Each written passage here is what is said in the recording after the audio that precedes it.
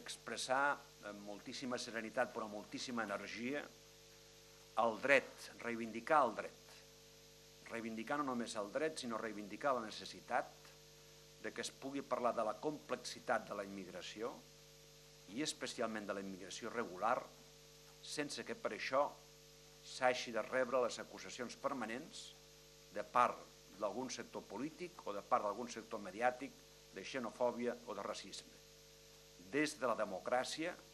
i des dels partits democràtics i des d'una força política democràtica com és Unió Democràtica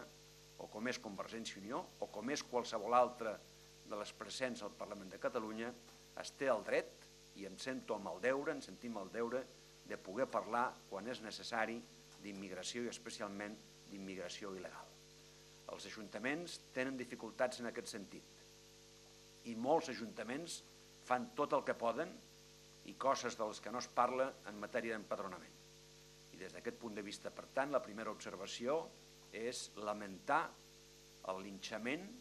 que s'ha ofert l'Ajuntament de Vic i el seu alcalde en particular per la seva predisposició a actuar en un determinat sentit en matèria d'empadronament de persones il·legals, de persones que la llei d'estrangeria considera il·legals, no l'Ajuntament de Vic, sinó la llei d'estrangeria considera il·legals.